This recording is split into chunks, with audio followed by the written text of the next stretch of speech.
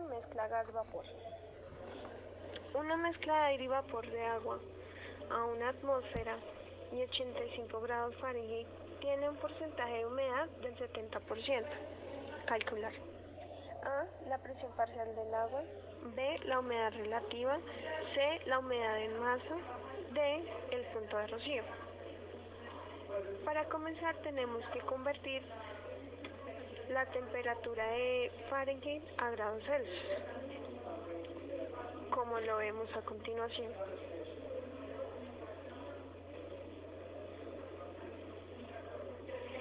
Buscamos en tablas la presión de vapor a esa temperatura y tenemos que interpolar, tomando como referencia 29 y 30, con los datos correspondientes a su presión. Hallando con la del 29,44 que fue que nos dio la temperatura en grados Celsius, nos da la presión como 30,8559,6. Después, la humedad relativa la tenemos que hallar por el, la ecuación de HP igual a HM sobre HM saturado por el 100%. Tenemos un porcentaje de humedad que es el 70%, que a su vez queda como 0,7. Y ahí despejamos el HM como se muestra en la imagen.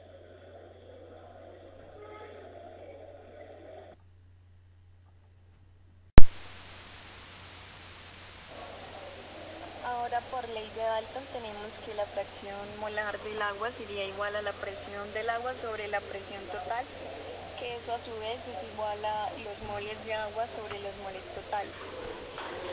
Tomando como base un mol de aire seco, tenemos moles de agua sobre 1 que sería igual a 0,7 por moles de agua sobre 1, que eso sería igual a 0,7 por la presión de saturación del agua sobre la presión total menos la presión de saturación del agua.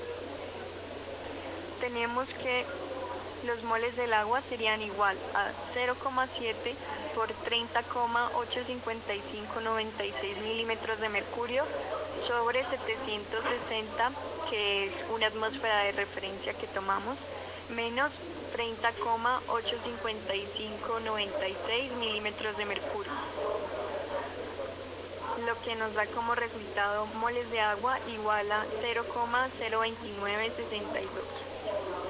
Ahora la presión parcial del agua sería la presión del agua igual a la fracción molar del agua por la presión total.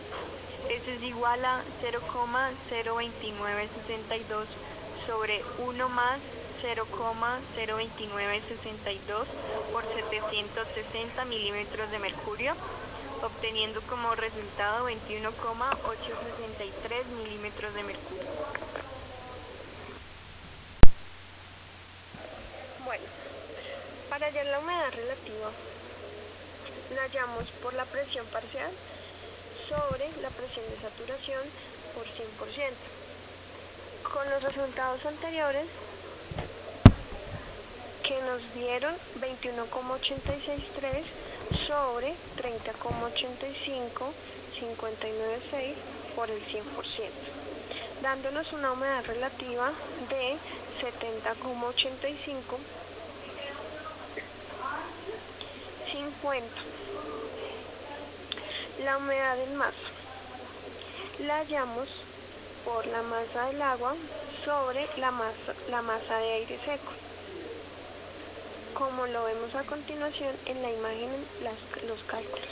Entonces sería 0,022962 moles de agua sobre moles de aire seco por 18 gramos sobre mol de agua, eso dividido en 28,84 gramos de mol de aire seco, que son sus pesos que son sus pesos.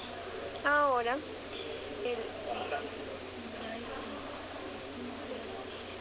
dándonos como resultado 0,01848.